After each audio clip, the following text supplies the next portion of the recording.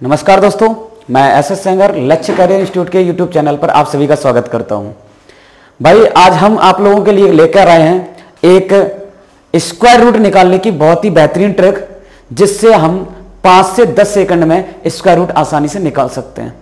भाई, square root निकालना एक बहुत ज़रूरी है क्योंकि सिंप्लीफिकेशन में इसका बहुत अहम रोल होता है। तो भाई, अपन ज़्यादा समय बर्बाद ना करते हुए चर्चा करेंगे स्क्वायर रूट पे। स्क्वायर रूट कैसे निकाले जाते हैं? देखते हैं भाई, पाँच से दस सेकंड में स्क्वायर रूट कैसे निकालते भाई। इसके लिए भाई, कुछ चीज़ों को हमें दिमाग में रखना होगा, जैसे एक से लेकर दस तक के स्क्वायर एक का स्क्वायर भाई, जैसे अपन बात करें, एक का स्क्वायर क्या बनेगा? एक। ये चीज़ें हमें दिमाग में रख के चलनी भाई।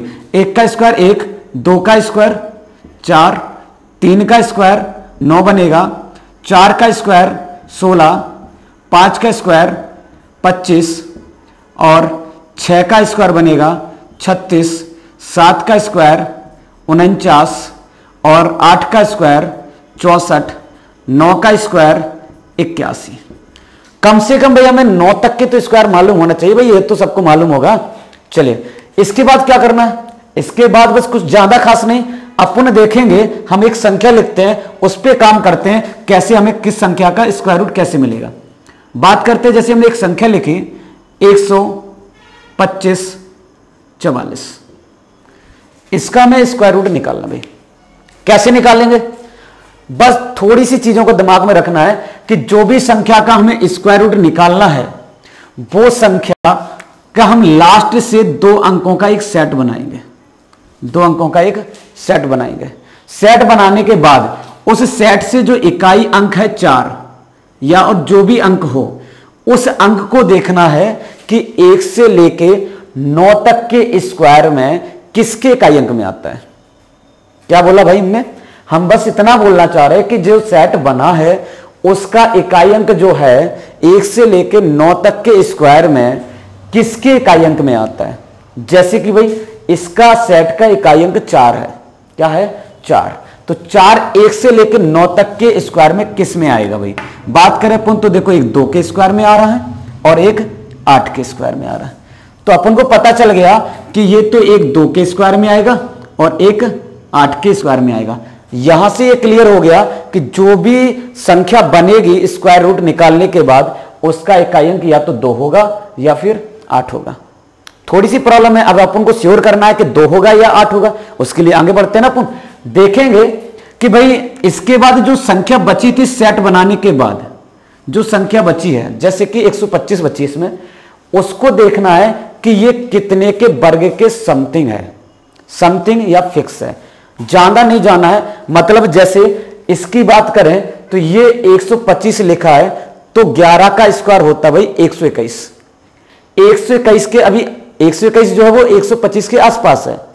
अब अपन 12 का स्क्वायर करेंगे 144 हो जाएगा। 144 वो हो जाएगा, इससे ज़्यादा। वो नहीं करना।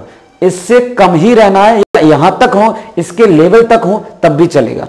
तो अपन बात करें, इसके लिए क्या बोलेंगे? ये 11 का स्क्वायर किस समथिंग है? किसके समथिंग है? 11 के स्क्वायर के समथिंग तो अब अपन को यह पता चल गया कि इसका जो संख्या बनने वाली है इसके शुरुआती अंक अपन को 11 से मिलेंगे।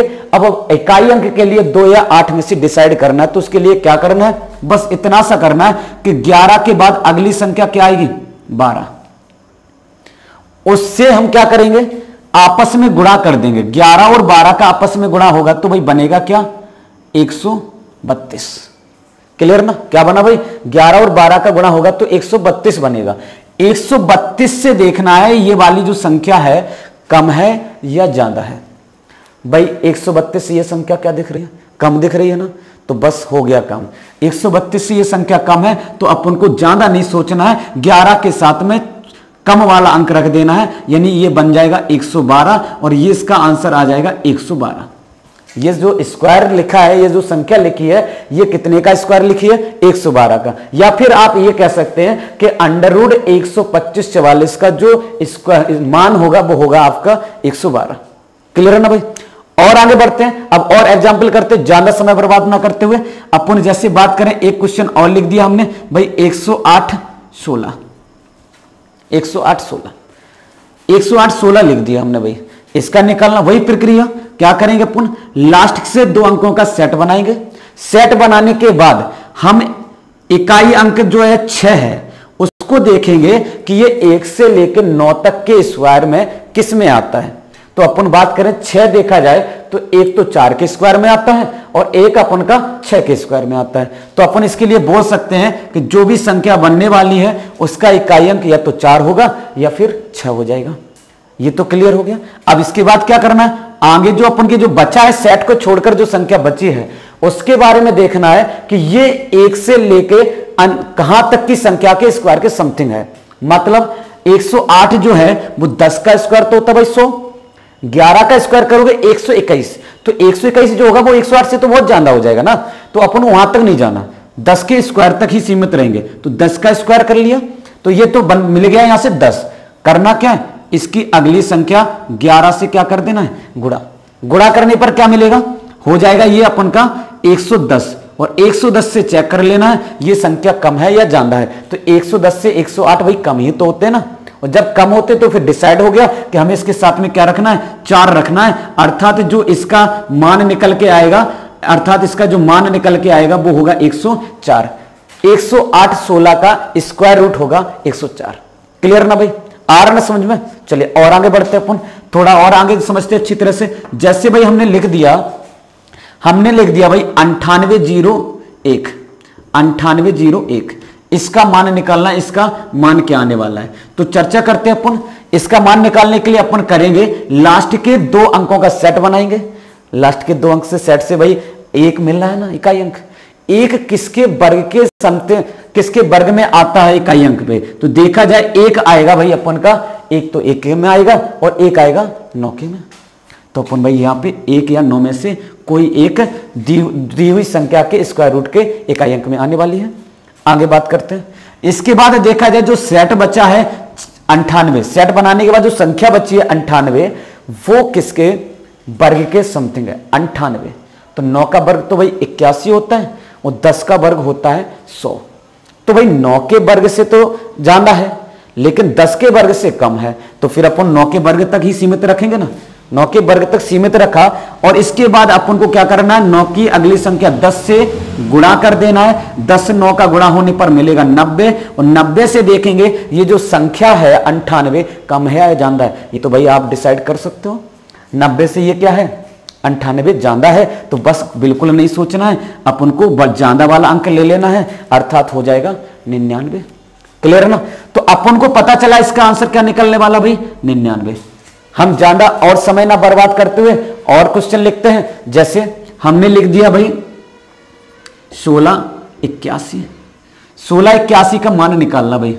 सोलह इक्यासी का मान क्या होगा? चर्चा करते हैं अपन।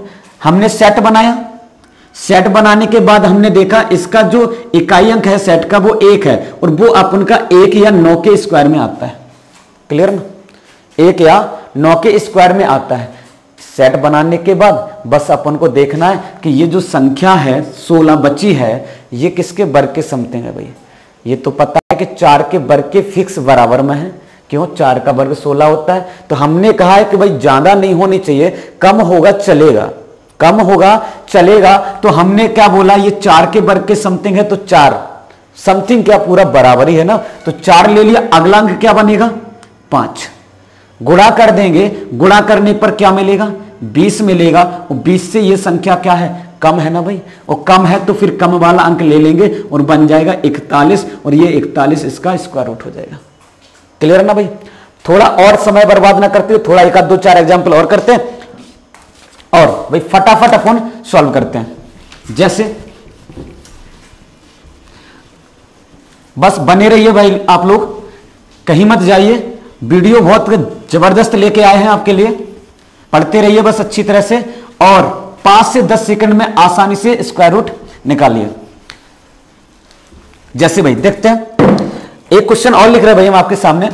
अब फटाफट फास्ट फास्ट करेंगे थोड़ा। जैसे हमने लिख दिया भाई, चौबीस ज़ीरो एक। चौबीस ज़ीरो एक। क्या करना है? इकाई अंक से देखना है, ये एक में आएगा या फिर नौ में आएगा। हो गया? इसके बाद इसको देखा अपन ने कि ये किसके वर्ग के समथिंग है? तो अपन ने देखा चार का वर्ग होता है सोलह और पाँच का वर्ग होता है पच्चीस। पच्चीस से तो कम है तो चार की समथिंग होगा ना। चार के समथिंग होगा, अगली संख्या पाँच से गुणा कर दिया, क्या बना है? बीस बना है, बीस से ज़्यादा है तो ज़्यादा है तो फिर नौ ले लेंगे, अर्थात इसका आंसर क्या हो जाएगा? उनचास। क्लियर है ना? आर समझ में? भाई, अगर समझ में आ रहा हो तो लाइक और सब्सक्राइब और शेयर कर दीजिए वीडियो को बहुत धमाकेदार तरीके से, ठीक है? आगे बात करते हैं, थोड़ा और देख लेते हैं। जैसे हमने लिखा भाई अंडर रूड इकतीस, छह सौ चौरासी। भाई, इसका निकालते, थोड़ा और बड़ा सा करते अपन। अपन को कुछ नहीं करना, देखना भाई। दो दो अंक का सेट बनाया, इसके बाद देखना है कि जो चार आता है, वो किसके समथिंग आता है? एक तो दो के स्क्वायर में आता है और एक अपन का आठ के स्क्वायर में आता है। क्लियर ना? आगे बढ़ते भाई थोड़ा। अब बच्चा क्या है? 316 316 किसके वर्ग के समथिंग होता है? तो आपको मालूम होगा 17 का स्क्वायर होता है, दो सौ नवासी। और 18 का स्क्वायर होता है 324 तो 324 तो भाई ज़्यादा हो जाएगा ना? तो अपन 17 के स्क्वायर तक रहेंगे ना? 17 का स्क्वायर 17 और 18 का गुणा करना है। 17 और 18 का गुणा करना है। कैसे करेंगे भाई? अपन ऐसे करेंगे कि 17 17 का स्क्वायर तो बनता है दो सौ नवासी। दो सौ नवासी में अपन 17 और जोड़ देते हैं। तो क्या बन जाएगा अपन का? नौ नौ सात सोलह, आठ और एक, नौ एक दस और ये बन जाएगा तीन सौ छह। क्लियर तीन सौ छह बन गया भाई। और तीन सौ छह से ये क्या है? तीन सौ छह से तो ये जानदा है ना? और तीन सौ छह से जानदा है तो फिर अपन आठ ले लेंगे। जानदा ही ले लेना है। अर्थात बन जाएगा एक सौ अठहत्तर का। इसका मान हो जाएगा एक होमवर्क के लिए कुछ हम क्वेश्चन रख रहे हैं आपके लिए। तो आप उसको करेंगे।